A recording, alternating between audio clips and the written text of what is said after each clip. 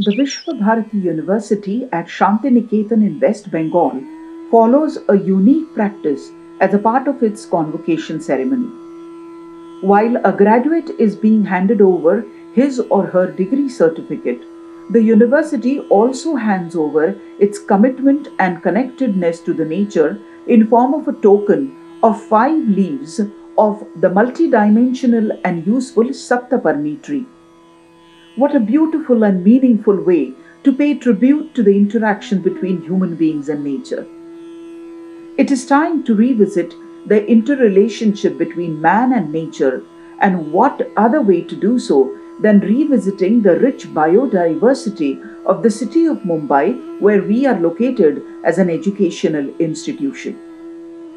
It is said that visiting the biodiversity of Mumbai is like a treasure hunt which is sure to grant bounties to everybody who is in search of this treasure.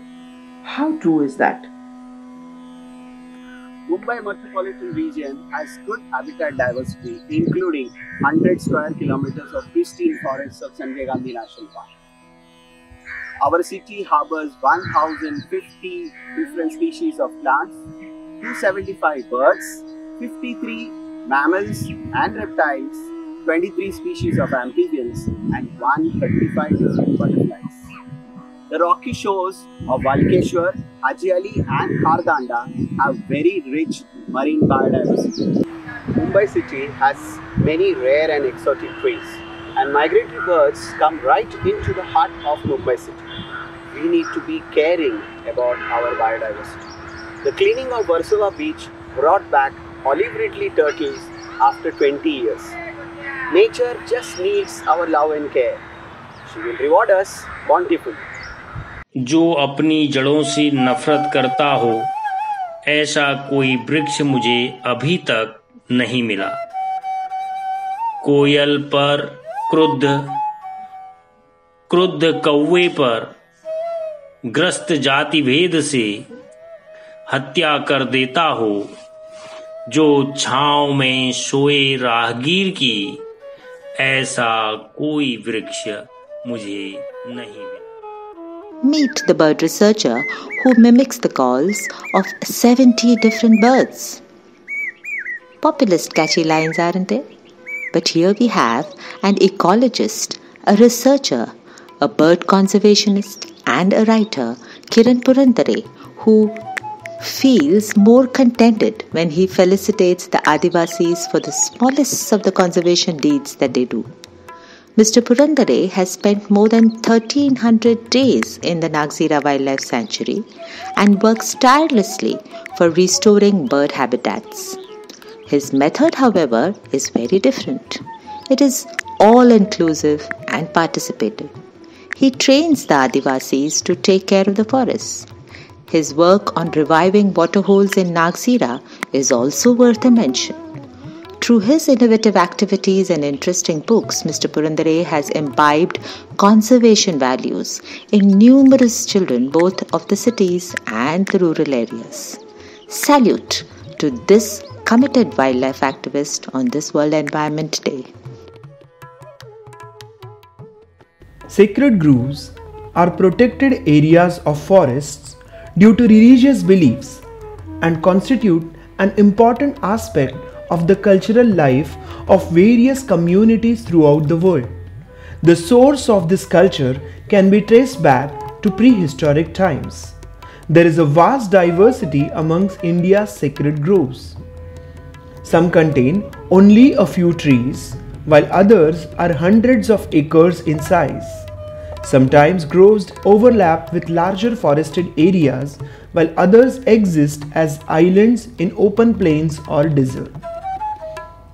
Many sacred groves contain water resources such as ponds, streams, and the vegetative mass that covers the floor of a grove can absorb water during rainy seasons.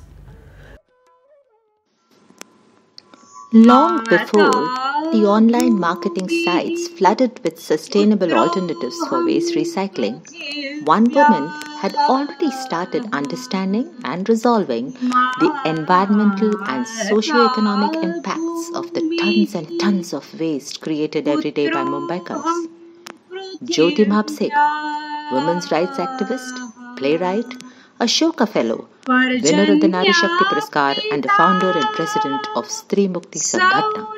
This organization, through one of its verticals called Parisar Vikas, advocates decentralized, people powered, zero waste models. Jyoti Tai has organized and uplifted 5,000 waste picker members into self help groups and has trained over 1,000 women in waste segregation, composting, and biogas production. We at SP Mandali's Ramnarain Ruia Autonomous College, through our various initiatives, engage not only our students but all stakeholders, keeping this link with nature really active. There is a rainwater harvesting system installed within the campus. The college has installed solar panels. Efforts have been made to contribute towards carbon neutrality by improving greenery in the college premises and by using a part of college terrace as a greenhouse. The college makes conscious efforts towards minimizing the use of electricity. सूर्याकडे तोंड करून चाललो तर प्रकाशाची भेट होईल.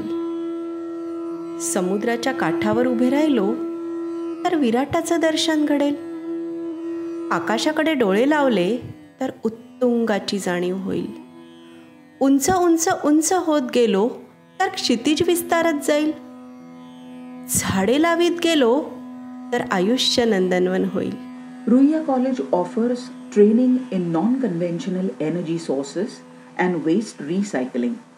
Students work on environmental implications of energy use, environment impact assessment, and various forms of non conventional energy sources, and also various waste recycling processes. The students have initiated installation of biogas plant with the canteen and tiffin waste. The students passionately participate in collection and recycling of e-waste, broken glassware, recycling of used chemicals.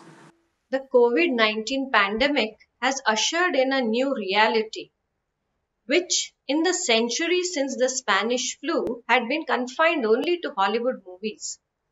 The emergence of never seen before pathogens is directly linked to our unsustainable exploitation of our natural resources. Humankind has advanced tremendously since the Industrial Revolution on the back of fossil fuels at the huge cost to nature. We can now clearly see the cost that we are paying in the form of climate change. If the rate of global warming continues unabated, in just a few decades, we can expect to see unrelenting forest fires, global crop failures, and rising sea levels. The lockdown has shown us another way. The Mumbai air quality has improved, our skies are much clearer, we are witnessing the tremendous healing power of nature if we just allow it to heal. But what are the lessons we can take from this? The lifestyle changes we all need to make are significant. The current culture of capitalism and consumerism leads to further depletion of our natural resources. We need to relook at the food on our plate, how often we buy new clothes, how often we fly, and how often we use single use plastics, amongst other things. But if we wish to leave behind this beautiful planet and its wonderful diversity of life, the way we have inherited it, for our future generations, the time to act is now. We all have a collective responsibility of arresting direct conflict with the nature. A healthy natural forest will not only keep wildlife within it, but it will also provide us with other important services such as water, medicinal value, livelihoods, and carbon sequestration. The COVID lockdown has provided a much needed break to nature to rejuvenate. What human interventions and government programs could not achieve in decades, Mother Nature, when left to herself, has done it in a few weeks. What we should learn from this lockdown is that Mother Nature has a tremendous capacity to heal herself. We must stop interfering with nature and natural cycles. All we must do is to find ways of using natural resources sustainably. Let us all change our lifestyles and make it less burdensome to the nature and live harmoniously with nature so that we protect ourselves, our economies, and everything we cherish on this planet.